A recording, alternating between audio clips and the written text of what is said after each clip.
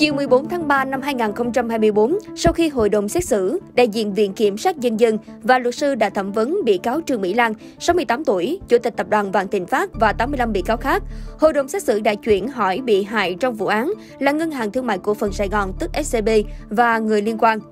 Theo cáo trạng của Viện Kiểm sát Nhân dân tối cao, trong 10 năm, từ năm 2012 đến 2022, bị cáo Trương Mỹ Lan cùng đồng phạm đã rút ruột SCB hơn 1 triệu tỷ đồng. Để thực hiện việc này, bị cáo Trương Mỹ Lan đã thiết lập, xây dựng một đế chế vạn thịnh phát với hơn 1.000 công ty con trong và ngoài nước, thâu tóm SCB bằng cách nhờ cá nhân, pháp nhân đứng 91,5% cổ phần. Từ đó, bị cáo Trương Mỹ Lan sử dụng SCB như một công cụ tài chính rút tiền của SCB, phục vụ cho mục đích cá nhân và các công ty của bị cáo.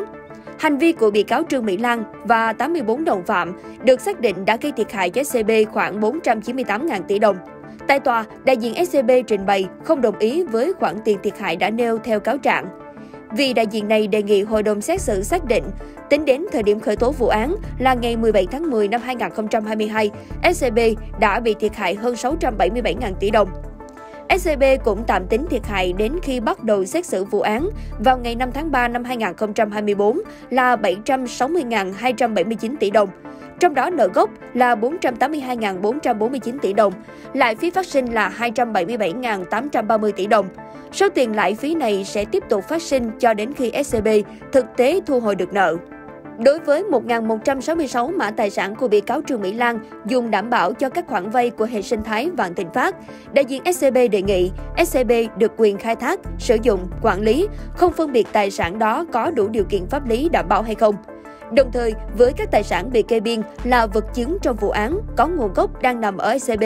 đề nghị giao SCB toàn quyền quản lý, sử dụng các tài sản này. Với 240 tài sản bị hoán đổi và xuất ra khỏi hệ thống quản lý của SCB, đại diện SCB đề nghị hội đồng xét xử có biện pháp quyết định thu hồi các tài sản này và các tài sản khác được hoán đổi nếu có cơ sở xác định để giao lại cho SCB quản lý, khai thác, sử dụng, xử lý để thu hồi nợ và khắc phục thiệt hại. Bên cạnh đó, SCB cũng đề nghị hội đồng xét xử tiếp tục áp dụng các biện pháp truy tìm và kê biên, phong tỏa tài sản thuộc sở hữu của bị cáo Trương Mỹ Lan, hệ sinh thái Vạn Thịnh Phát và những đồng phạm của bị cáo Trương Mỹ Lan, cùng những cá nhân, tổ chức khác có liên quan chưa bị kê biên để đảm bảo nghĩa vụ thi hành án của các bị cáo cho SCB. SCB cũng yêu cầu làm rõ trách nhiệm của các bên liên quan là 6 công ty thẩm định giá, Cuối cùng, SCB yêu cầu hội đồng xét xử xác định quyền ưu tiên thu hồi nợ, khắc phục thiệt hại khi xử lý tài sản cùng trách nhiệm bồi thường khắc phục thiệt hại.